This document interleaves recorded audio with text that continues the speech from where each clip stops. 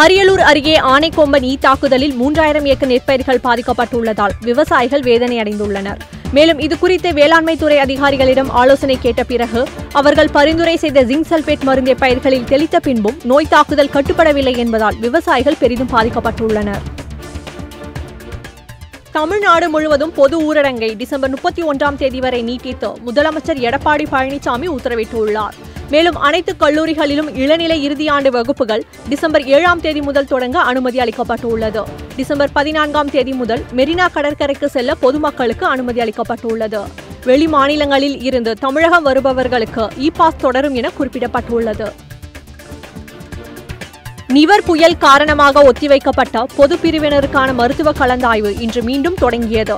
நிவர் புயல் முன்னெச்சரிக்கை நடவடிக்கையாக ஒத்திவைக்கப்பட்ட கலந்தாய்வு இன்று தொடங்கிய நிலையில் டிசம்பர் பத்தாம் தேதி வரை கலந்தாய்வு நடைபெறும் என அறிவிக்கப்பட்டுள்ளது.